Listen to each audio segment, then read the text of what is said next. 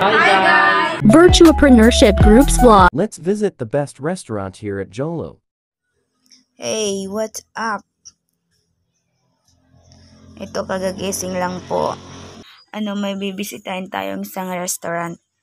Tapos ano, um, before that, let's take a bath. And now, we will see you later. Five minutes later.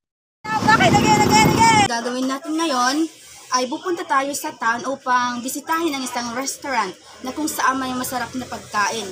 At ngayon, ah, ha- mamaya, hihintayin natin ang ating kasama, ang aking kaibigan na si Rids Malen, doon sa junction.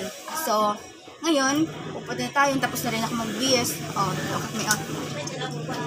So, ngayon, pupunta na tayo doon at hihintayin natin at para magkita-kita tayo doon. So, arat na! So, dito tayo ngayon at malapit na tayo sa junction. Junction at hihintayin natin ang ating kasama na si Rich Malin. At ngayon, ah, bibigyan pa natin siya ng 5 minutes kasi 5 minutes rin ako nagkintay kanina.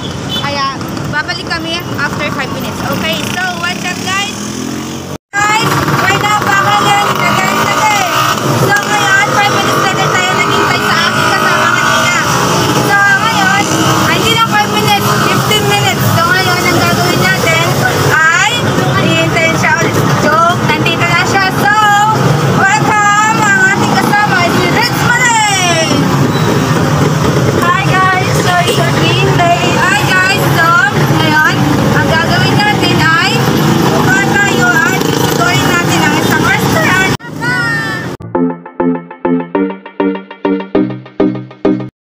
After one hour.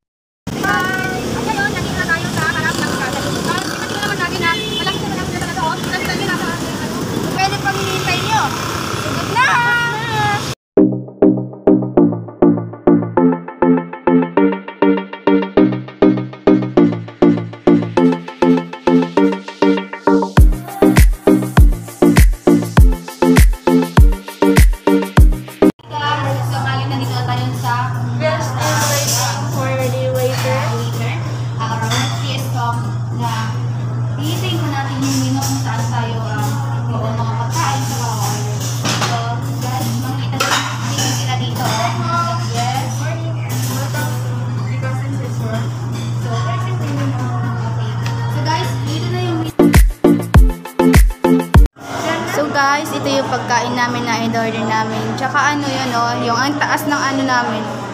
Taas. Tapos ito yung lulutuin na, ipaglulutuan namin yung ano, yung mga pagkain na hilaw na hindi pa luto. Tsaka ano to, beef to. Tsaka ito, shabu-shabu. Shabu-shabu ang tawag dito sa ano. Shabuhay mo, charot. At saka ito yung pagkain namin, oh, dalawa. Ang rice kasi si Ritz, oh. Si Ritz kasi ano eh, maano, ma... Gutom. Gutom na gutom. Tsaka ito, kimchi siya, oh. Kimchi.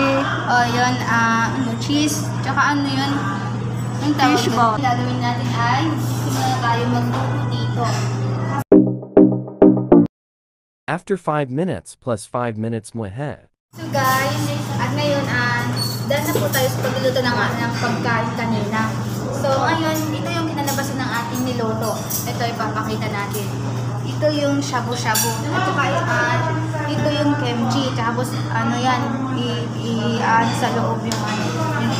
Tapos ito yung niloto namin kanina, oh, beef guys. Yeah, beef. Beef yung tawag dito. Ito yung kinalabasan din niloto namin. Tapos, ito anong tawag dito? Chicken, ah, chicken meat siya. Oh. Ah, di ba? Ang sarap. Tapos, ito, yung fishball. Na fishball, tsaka yan, fishball, tsaka ano. Ito, dapat yan. Partner sila yan. Then, yeah. So, ano guys, tsaka ito, um, beef. Beef yan.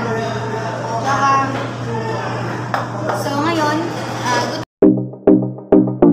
A few minutes later. So, tapos na kami At this juncture, let's interview the manager of Cousins. Guys, nandito naman tayo ulit.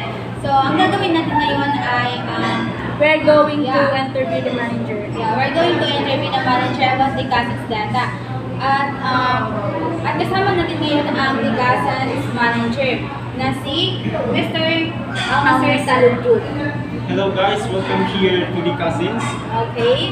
So, ngayon, ah, kasi po, ah, sir, gusto namin malaman kung ano yung ah, kinalabasan at kung ano yung data about Tikasan. Mga information about Tikasan.